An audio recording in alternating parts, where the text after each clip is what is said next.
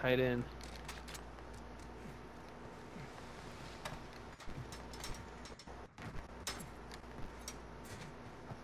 Crush him. I don't know where I got hit from.